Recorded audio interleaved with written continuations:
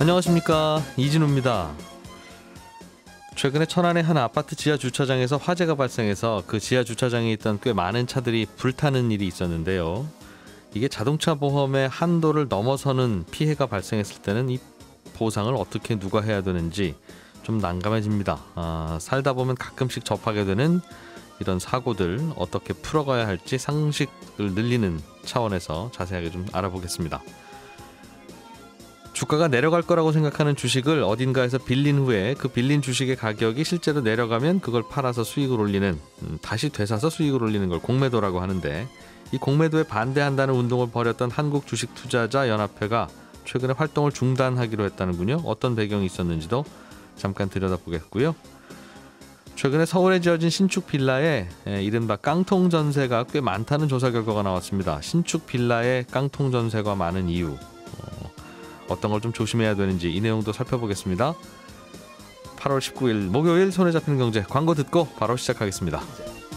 네, 오늘도 SF 플러스 김치영 경제뉴스 큐레이터, 김현우 행복자산관리연구소장, 손에 잡히는 경제 박세훈 작가 세 분과 함께 경제 뉴스들 중요한 것들 좀 뽑아서 정리해 봅니다. 세 분 어서 오십시오. 네, 안녕하세요.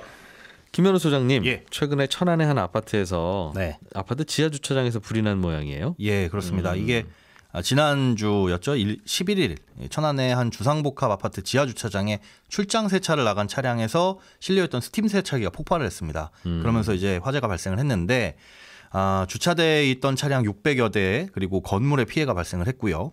어, 16일까지 자동차 보험사에 피해 접수가 된 차량은 470대인데 그 중에 한 200대 가까이 이제 수입차로 알려졌습니다. 이 동네가 조금 어, 고가 어, 주택이라고 해요. 네. 그리고 인명 피해 상황으로는 당시 차, 그 차에 타고 계시던 세차 차량 소유주가 중상을 입었고요. 음. 주민 14명이 연기를 흡입해서 치료를 받았다. 그리고 어, 현재 기사마다 내용이 달라서 명확히 확인되진 않았지만 좀 중요한 사항 중에 이 주차장 스프링클러가 작동하지 않았다. 뭐 이런 얘기들도 있는데 이 부분은 확실하게 의견이 좀 갈리고 있는 상황입니다. 차들이 꽤 많이 불에 탔네요. 예, 그렇습니다. 그러면 이제 이것을 보상을 받아야 될 텐데. 예, 그렇죠. 음, 자동차 보험을 각자 다 가입하고 있었을 테니까 예. 일감은 거기서 받겠구나 싶은데 어떻습니까? 음, 각자 자동차 보험에서 일단 받을 수는 있습니다. 그런데 조금 따져봐야 돼요. 일단 원인을 따져봐야 되는데 이 세차 차량에서 폭발이 시작되고 불이 시작된 것이 CCTV로 확인이 됩니다. 그래서 1차적으로는 이 세차 차량 소유주에게 책임이 있을 걸로 보이는데요. 음, 어, 이 세차 차량 소유주, 소유주의 자동차 보험으로 일단 이걸 처리를 해야 되겠죠. 예. 음, 그런데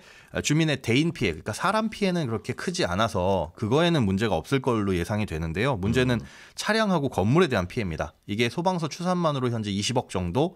그런데 고가의 외제차들이 많기 때문에 이거보다 더 피해가 클 수 있을 것이다라고 나오고 있는데 음, 문제는 이분이 가입한 자동차 보험의 대물 한도가 1억 혹은 2억으로 지금 알려져 있어요. 원래 보- 자동차 보험 가입하면 일반적으로 그 정도죠. 의무가 2천만 원 이상이고 음. 어, 1억이나 2억 가입하시는 분들이 많죠. 근데 요즘에 고가 차량이 많아서 좀 비싸게 가입하더라도 음. 예. 10억 정도까지가 최대입니다. 그런데 이분은 음, 1억에서 2억. 이거는 이제 한 사고당 한도거든요. 그러니까 예. 전체 피해액을 보상해 주는 한도가 1억에서 2억이라는 거죠. 이걸 음. 이제 초과하는 금액은 개인이 배상을 해야 됩니다. 그러니까 손해액이 20억이다. 근데 만약에 이분이 1억까지만 가입해 놨다. 그럼 19억은 개인이 배상을 해야 되는데 그 폭발한 스팀 세차기 운영하시던 그분이 그렇습니다. 음. 그런데 문제는 이 1억마저도 자동차 보험으로 처리가 안 될 가능성도 있어요.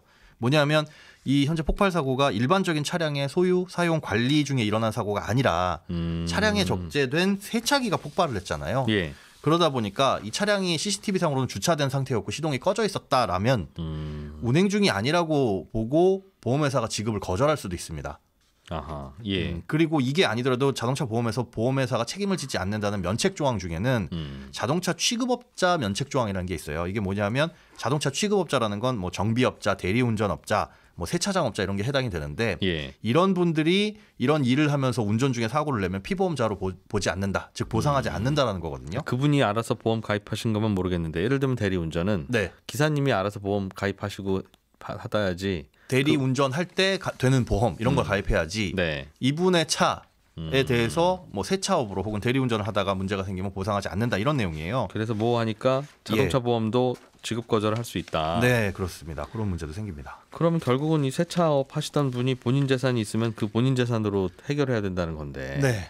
그렇게 해결을 해야 어허. 되는데 문제는 한 번 더 따져볼 게 있습니다. 이 스팀 세차기의 폭발 원인이 뭐냐? 음. 음, 이게 우리나라는 2002년부터 제조물 책임법이라는 게 시행이 돼가지고 예. 어, 제조물의 결함으로 소비자나 제3자가 피해를 입으면 이에 대해서 제조, 수입, 유통, 판매 업체가 책임을 져야 됩니다. 그래서 보통 이제 보험을 가입하기도 하는데 우리 물건 사다 보면은 뭐 생산물 배상 책임 보험 1억 가입 이런 문구 보신 적 있을 거예요. 음, 이게. 그거예요. 네. 예. 음, 뭐 보험을 꼭 쓰다가 사고 나면 그렇죠. 보험을 가입하면 뭐 보험금으로 우리 해결해 드리겠습니다. 여유 있습니다라는 내용이고 보험을 가입하지 않더라도 책임은 져야 됩니다. 네. 아, 그런데 이 스팀 세차기가 정상적인 상황에서 어, 조작을 했는데 조작 실수가 아니라 결함으로 폭발이 일어났다라고 한다면은 이 제조물 최장 배상 책임법에 따라서 여기서 이제 보상을 해야 되겠죠. 예. 아, 그래서 요 스팀 세차기는 현재 국과수에서 조사 중에 있고요.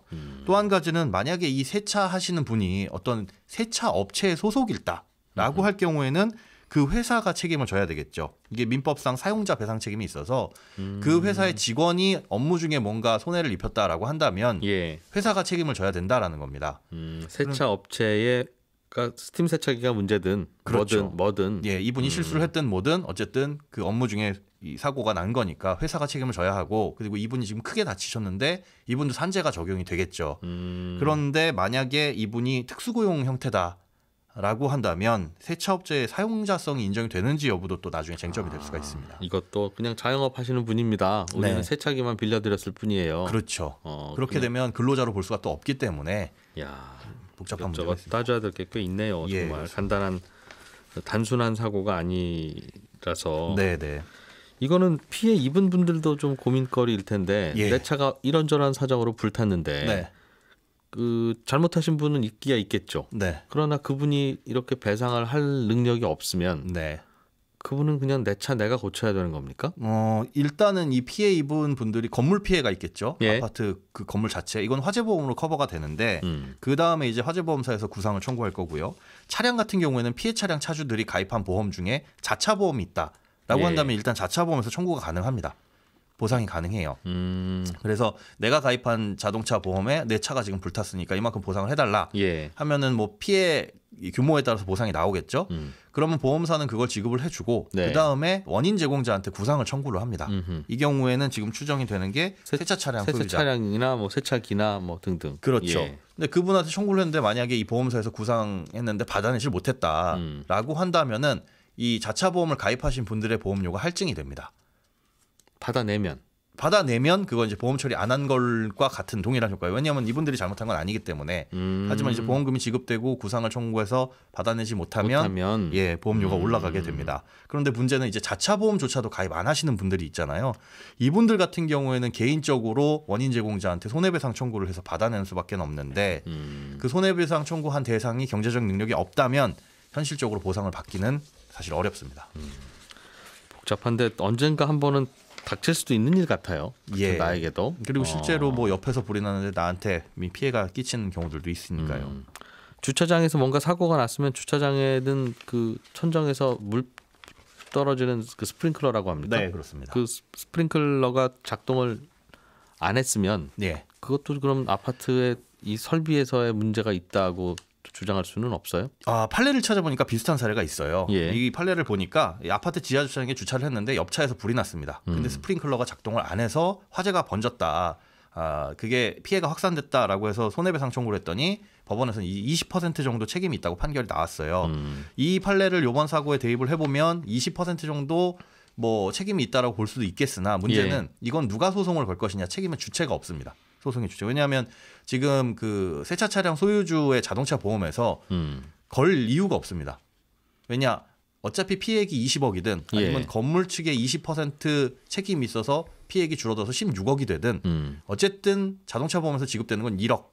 한도만큼만 주면 되니까. 그렇죠. 굳이 음. 시간과 비용을 들여가면서 아파트에 책임이 있다라고 소송을 걸 이유가 없는 거죠. 그러니 이 많이 물어주신 본인이 직접 아파트 상대로 소송해야 된다는 뜻이군요. 네, 그렇습니다. 음. 그렇게 피해를 입으신 분들이 뭐 자차 보험을 적용하신 분들이나 음, 뭐 그런 분들이나 음. 아니면 뭐 세차 회사가 그렇죠. 아. 세차 회사가 하거나 아니면 뭐 개인이 하시거나 이렇게 될 텐데 음. 사실은 시간과 비용의 문제라서 이런 네. 부분들은 어떻게 될지는 조금 모호합니다. 알겠습니다.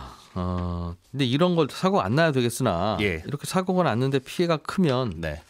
예를 들면 뭐 전화 소장님이 잠깐 다른 뭐 아르바이트 삼아서 그런 일을 하다가 그런 사고가 날 수도 있고 내가 낼 수도 있잖아요. 그렇죠. 고의가 아니더라도. 네, 그렇습니다. 그런 경우에는 사람 안 다치면 되는 거긴 한데 또 일단 물적 피해가 크면 네, 삶이 달라질 수 있으니까 맞습니다. 평소에 뭘 어, 이- 이런 건 어떻게 그럼 대비해야 되는 겁니까? 예를 들면 제가 세차하는 업자였다면 예. 뭘 좀 대비를 하고 다녔으면 사실상 이 안타깝지만은 예, 어, 이거를 대비할 수 있는 게 자동차 보험 한도를 10억까지 들어놨다고 해도 이건 지금 한도 초과잖아요. 결국은 개인이 능력으로 배상을 해야 되는데 그것도 자동차 운전 중에 난 사고가 아니라고 주장하면 그렇죠. 그조차도 안 되는 거고. 맞습니다. 그럼 이런 건 보험에도 없고 그냥 운이 좋기를 바래야 되는 건가요? 네, 피해 갈 수가 사실은 없는. 물론 이제 영업배상 책임 보험을 가입했으면 거기서 되겠지만은 이 예. 역시도 돈이니까 그것만이 이제 유일한 해결책이 되겠네요. 살면서 특별히 뭐 잘못한 게 없는데 이렇게 운 나쁜 상황에서 삶이 바뀌면 예. 근데 대응할 방법도 없고 이러면 이거는 문제네요. 제가 네. 보기에는 이런 걸로 보험회사에서 만들어 주시거나 어, 영업배상 책임이라는 게 있기는 있습니다. 예. 하지만 그것도 이제 이 싸지는 않기 때문에 아 보험료가 예, 예. 음 그러게요. 그러면 뭐 좀 어려운 분들은 그걸 나라에서 반반씩 좀 해주시면 음. 감사하시거나 아니 그 뭔가 이게 저 살다 보면 운이 나빠서 생기는 일들은 있지 왜 없겠어요. 그렇죠. 어, 장애를 갖고 태어나는 것도 그런 거고 네. 그런 것들에 대한 보장은 좀 해줘야 되는 것 같다는 생각이 간혹 들어요. 국가에서 그걸 어떻게 막습니까 개인이? 이것도 뒤져보다 보니까 답이 안 나와서 음 좀 답답하긴 합니다. 예. 자기가 노력해서 뭘 좀 해결할 수 있는 거는 개인한테 최대한 맡기고 그렇게 해서 비용 아꼈다가 운 나빠서 생기는 일에 대해서는 좀 해줘야지. 이분은 뭘 잘못하셔서 그런지는 몰라도 운이 나빴을 가능성이 굉장히 높은데. 또 피해 보신 분들도 마찬가지죠. 네. 자 박세훈 작가님 준비해 오신 소식. 서울 네. 신축 빌라의 깡통 주택, 깡통 전세 비율이 높다던데. 네. 깡통 전세라는 게 전세금보다 집값이 싸서 네, 전세금 못 돌려주더라도 그걸 경매로 붙여봐야 결국 못 돌려받는 네. 뭐 그런 빌라를 의미합니까? 그렇습니다. 집값이랑 전세 보증 거의 비슷한 전세 보증금이 집값의 한 80% 정도 되면 그 깡통 전세라고 보는데 예. 어제 한 부동산 업체가 발표를 했어요 자료를 올해 상반기에 서울에 지어진 신축 빌라를 봤더니 전세 거래가 한 2,700건 정도 있었는데 네 곳 중에 한 곳이 전세값이 매매가의 90% 넘는 깡통 전세, 깡통 주택이었던 겁니다. 음. 심지어 이 중에는 전세값이 매매가랑 같거나 예. 오히려 전세값이 매매가보다 높은 경우도 꽤 있었어요. 지역별로 나눠서 보면 강서구 같은 경우는 올해 상반기 거래된 신축 빌라 전세 10건 가운데 8건이 깡통 주택, 깡통 전세인 걸로 조사가 됐습니다. 10개 중에 8개가요? 네. 올해 신축됐으니까 올해 전세로. 들어갔었을 텐데 네. 10개 중에 8개가 네. 비율로 보면 그렇습니다. 오. 그런 것만 조사하셔서 그런가? 신축 빌라에 이렇게 특히 유독 이런 깡통 전세가 많은 위험한 전세가 많은 거죠, 네, 그러니까. 그렇습니다. 이유가 뭡니까? 다양한 이유들이 좀 섞여 있는데 일단 새로 짓는 빌라들은요. 신축이라서 잘 팔릴 것 같지만 꼭 그렇지도 않아요. 음. 그 빌라를 사려는 사람 입장에서는 제값을 다 주고 사자니 빌라 가격이 언제 떨어질지도 모르고 예. 또 요즘에 또 은행 대출도 잘 안 나오고 음. 그래서 신축 빌라는 빌라 건설 사업자가 집 다 지을 때쯤에 집주인보다 세입자를 먼저 구하는 경우가 꽤 많습니다. 예. 세입자의 전세 보증금을 보태면 집주인은 돈 조금만 더 보태면 살 수 있잖아요. 예를 들어서 음. 빌라의 매매가가 4억이다. 예. 그런데 그 집에 3억 8천짜리 전세를 놓으면 음. 집주인은 2천만 원만 들고도 빌라를 살 수 있는 거죠. 아, 그러니까 어, 아예 그냥 건설 하시는 분이 네. 3억 8천짜리 전세로 들어올 세입자까지 찾아서 네. 이 빌라를 사시면 물론 직접 거주는 안 되지만 갭 그렇죠. 투자니까 그렇죠. 2천이면 이 집 살 수 있습니다. 그렇습니다. 아 그래서 뭐 예를 들면 시립, 시립 주금 5천만 원 빌라 이런 게 그런, 그런 광고군요. 네. 어. 그리고 이 전세 가격은 그냥 건설업자가 마음대로 정하는 거라서 4억에 파는 집도 그냥 전세가는 4억 2천으로 할 수도 있습니다. 뭐 그러니까 그, 도- 지금 그 동네 조사된- 전세 시세가 그러면 그럴 수 그렇죠. 있죠. 지금 예. 조사된 곳들에서 전세가가 매매가보다 높은 일들이 벌어지는 거고 빌라 전세나 빌라 매매가라는 거는 아파트처럼 정확하게 나오진 않거든요. 주변에 발품 다 팔아봐도 잘 모르기 때문에 시세를 음. 네. 몰라서 들어가는 경우도 있습니다. 시세는 정말 그 지으신 분이 정하기 나름이니까 네. 그거야 아무도 알 수 없는 건데 들쭉날쭉이라는 거고 그렇죠. 그 시세를 알아야 이 전세가 위험한 전세인지 아닌지 알 텐데 네. 그걸 모르니 그렇다고 저는 전세금을 많이 낮춰주세요 하면 그거는 거래가 안 될 거고 그렇습니다. 그런 집에는 가능하면 안 들어가야 됩니다가 정답이긴 한데 그러기 네. 또 어렵죠. 그렇습니다. 음, 왜 세입자들이 그런 집에 왜 들어가냐면 예, 요즘은 집 갖고 있거나 혹은 집을 갖고 있었던 경력이 있으면 음. 정부가 저렴하게 분양한 아파트를 살 기회 없는 게 힘들잖아요. 사실상 안 되죠. 무주택 유지해야 되니까. 그렇습니다. 그래서 예. 일단 전세로 살면서 저렴하게 분양된 아파트를 살 기회를 노리게 되는데 음. 이런 전략을 쓰게 되는데 예. 주변의 아파트를 보니까 아파트 전세 가격도 매매 가격만큼 많이 올라가 있고 그러다 보니 빌라로 눈을 돌리게 되는데 기왕 빌라로 가는 거 신축 빌라로 들어가자 신축 빌라 전세로 들어가자는 생각을 하는 겁니다. 그리고 임대차 3법 시행되면서 전세 매물이 많이 줄었거든요. 예전에는 2년에 한 번씩 나오던 물량이 지금은 한 4년에 한 번 나오는 경우가 많으니까 네. 그러다 보니 전세 가격이 좀 오르는 영향이 있고 서울의 입주 물량이 꽤 많이 줄었습니다. 요즘에 네, 새 아파트 입주 물량을 보니까 작년에는 한 약 5만 가구였는데 올해는 약 3만 가구고요. 내년에는 더 줄어서 2만 가구 정도가 입주할 예정입니다. 그 서울에 새 아파트 지으려면 재건축이나 재개발해야 되는데 네, 한 최근 한 4, 5년 사이에 재건축 재개발이 진도가 안 나가니까 그렇습니다. 아, 이제는 이제 입주 물량이 자꾸 마르는 거죠. 그렇죠. 음. 재개발 재건축 안 되니까 분양 안 되고 분양 안 되니까 착공 물량 안 나오고 착공 물량 안 나오니까 입주 물량 음. 감소하고 예. 입주 물량이 적으면 그것 때문에 또 전세 가격이 올라요. 그러니까 입주 물량이 부족하고 임대차 3법 이후에 줄어든 전세 매물 때문에 예. 전세 가격이 급등하고 전세 가격이 급등하다 보니까 꽤 비싼 전세라도 일단 들어가려고 하는 겁니다. 세입자 입장에서. 음, 그래서 이거 어떻게 하죠? 근데 이러면 하, 참 동네 전세값은 비싸니 그 전세값 안 줄 수는 없고 네, 그런데 이 빌라가 나중에 팔면 얼마가 되는지는 나는 가늠이 안 되니까 그렇습니다. 그럴 경우에는 보험 보증 보험사에 물어보고 가입하면 네. 어쨌든 나는 나갈 때 내 전세금 받을 수 있는 건 아닌가요? 아 가입을 해주면 예 가입을 해주면 받아주면 받아주면 되는데 음, 안 받아주는 경우들도 있어요. 봤더니 어 이건 좀 위험합니다라고 안 예. 받아주는 경우가 있으니까 일단 빌라 전세 들어가실 때는 음. 최대한 가입을 하시는 게 정답이고 네 가입하러 갔는데 안 받아준다. 음, 그 집에 안 들어가시는 게 정답입니다. 그렇죠 보- 일단 보증보험 네. 가입 신청을 해보고 해보고. 받아줍니다 하면 가입 안 해도 되니까 네. 그죠? 네. 어, 마지막 도장은 내가 찍는 거니까 위험한지 안 위험한지를 그렇게 가늠을 해보시면 그렇습니다. 어, 가- 보증보험 받아드릴게요라고 하면 아 괜찮은가 보다라고 네. 생각하면 되고 아, 못 받아드리겠습니다 그러면 그건 진짜 위험한 네. 거니까 요 요령은 저희가 한 넉 달, 석 달에 한 번씩 말씀을 드리고 있는데 예 그 이유는 이거 말고는 지금은 답이 없어서 그래요. 스스로를 보호할 방법이 그렇습니다. 없다. 음. 전세금이라는 게 대부분이 전 재산에 가깝기 때문에 네. 지키는 방법은 이것밖에 없습니다. 그러게요. 그 집이 필요한 분은 당장 시중에 있는 집을 사시면 되는데 그거는 비싸고 새로 나오는 집은 싸니까 네. 분양가 상한제 때문에 그렇습니다. 기다리지 않을 수 없고 그렇죠. 기다리다 보면 전세로 살아야 되는데 그럼 전세가 오르고 네, 전세가 오르니까 이런 고민과 사고들이 벌어지고 그렇습니다. 그리고 전세 가격 급등할 때는 이런 깡통 전세들이 꽤 많이 나옵니다. 김치영 큐레이터께서 준비한 소식 마지막으로 보겠습니다. 아, 공매도 반대 운동하시던 분들이 있었어요. 네네. 사실상 그거 그만하기로 했다는데 왜요? 왜 이분들은 생각을 바꾸셨습니까? 어, 기억들 하시겠지만 올 초에 미국에서 게임스탑이라는 주식이 엄청나게 올랐잖아요. 예. 이때 이제 거의 몇십 달러 되는 주식이 400달러까지 가니까 개인 투자자들이 미국의 레딧이라는 온라인 사이트에서 어, 공매도 세력을 혼내주겠다라고 음. 연합을 해서 어, 결국엔 개인들이 이겼다 그래서 뉴스가 참 많이 됐었죠.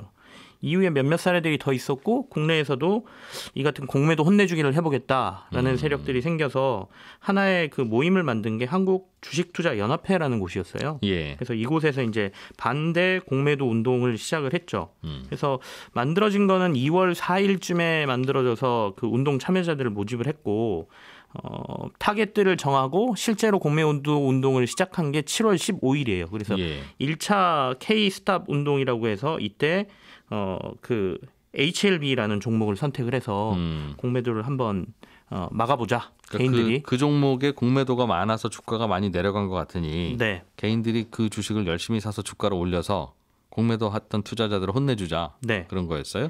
그래서 실제로 이제 1차 운동을 했는데 예. 이 당시에 운동 그 케이스탑 운동이라고 했던 것 자체가 금융 당국에서 보기에는 시세 조작 가능성이 있다라고 본 것이고요. 그래서 이달 초에 어, 금융위에서 음. 이런 것들과 관련된 주의를 당부하는 일종의 보도자료 같은 걸 하나 냈습니다. 음. 그렇게 되니까 한투현 쪽에서 여러 가지 법적인 검토를 한 이후에 어, 사실상 계속해서 지속 활동이 힘들다라는 선언을 한 것이라고 봐야 될 것 같습니다. 그러니까 공매도 하는 분들은 공매도를 네. 해놓고 본인들도 주식을 팔겠죠. 그렇죠? 공매- 그렇습니다. 어, 공매도 하는 게 자체가 주식을 파는 거니까. 네네. 그분들이 주식 파는 건 괜찮고 반대로 거기에 대해서 개인들이 사는 건 안 된다고 하면 그건 좀 이상할 것 같은데 뭐 잘잘못을 따지기 전에 네네. 누구나 사고 팔 수 있는 게 시장인데 네네. 개인들이 저 주식 우리 삽시다 해서 사는 게 문제가 있다는 거예요. 당국 입장에서 보면. 아, 샀다는 게 문제가 있는 게 아니고요. 음. 그러니까 일단은 공매도 세력을 혼내준다는 슬로건을 걸고 음. 사실상 그 안에서 미리 매수를 해놓고 특정 시간대에 집중 매수를 하자 라고 음. 선언한 이후에 집중 매수가 이루어지면서 주가가 오르면 미리 사놓은 걸 파는 행위들이 이루어지고 있다라고 보는. 겁니다. 아. 그래서 이걸 이제 특정 종목 집중 매수 운동과 관련된 유의 사항 해가지고 이 내용을 발표를 한 것이고요. 이게 음. 자본시장법 제 178조에 보면 예. 금융투자 상품의 매매, 그 밖에 거래를 할 목적이나 그 시세의 변동을 도모할 목적으로 거짓의 계책 이게 이제 계획을 세운다는 것이죠. 이걸 하는 행위를 부정거래로 본다라고 돼 있고 네. 이거는 이제 형사처벌 대상이거든요. 그래서 어, 이런 일들이 빈번하게 일어날 것이다라고 보는 것이죠. 그 단체로 뭘 사자고 해서 사는 건 괜찮은데 네. 그 단체 중에 나쁜 마음 먹은 분들은 호르, 호르럭이 불기 전에 내가 미리 사놓고 네. 주도한 사람들일 수도 있고 내부에 참여한 사람들일 수도 있는데 가능성이 시- 실제로 실제로 1차 그 케이스탑 거죠. 운동 할 때 어, 3시부터 하자라고 했거든요. 예. 근데 3시 이전에 주가가 22% 오르고 음, 어, 3시 이후에 주가가 내리는 상황이 발생했어요. 그렇다 보니까 이 의혹이 수 더. 커진 겁니다. 그럼 미국에서도 비슷한 운동이 있었는데 네네. 그거는 미국에서는 별 문제를 안 삼았나 봐요. 그렇지 않습니다. 미국도 시세 조정과 관련돼서 미국의 증권거래소 SEC가 조사를 하겠다라고 얘기를 했고요. 예. 어, 실제로도 그 게임스탑 이후에 몇몇 종목들에 대해서 조사가 진행되고 있고 심지어 음. 이제 청문회도 열렸고요. 그리고 이제 아까 레딧이라는 그 커뮤니티가 주도를 했지만 주로 개인 투자자들이 이용했던 건 로빈후드라는 개인 주식 투자 거래 뭐 음. 애플리케이션이거든요. 예. 그래서 로빈후드 같은 경우에는 벌금도 무는 일들이 벌어졌거든요. 그러니까 음. 시세 조정과 같은 경우에는 미국이나 우리나라나 비슷한 눈으로 당국이 쳐다보고 있다라고 봐야 음. 될것 같습니다. 공매도 하는 분들이 다 옳지는 않겠죠. 네네. 본인들이 생각했던 건 좋지 않은 회사라고 생각해서 팔았겠지만 그 회사가 좋은 회사면 당연히 주가가 오를 텐데 내버려 두면 좋은 주가 좋은 회사라면 주가가 더 오를 텐데 그걸 그렇습니다. 굳이 네. 굳이 또 인위적으로 올리려고 하는 건 인위적으로 내리려고 하는 거하고도 마찬가지. 뭐 예, 것 기울어진. 운동장이라는 면에서는 공매도 반대 운동이 어느 정도 뭐 음, 그- 조건이 같지는 예, 않죠? 있긴 있는데요. 어. 뭐 대상 선정에도 문제가 있었던 것 같아요. 국내에서는 음, 그러니까 무조건 공매도 잔고가 많은 종목을 선택했다는 것. 공매도 네. 조건이 불리하긴 한데 공매도 자체가 나쁜 거라고 확대하는 건 잘못이다. 네네 맞습니다. 예.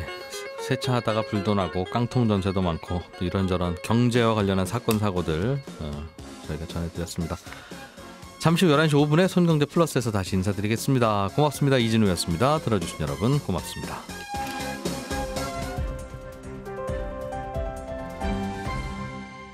경제를 생각하는 사람들의 즐거운 습관. 이진우의 손에 잡히는 경제.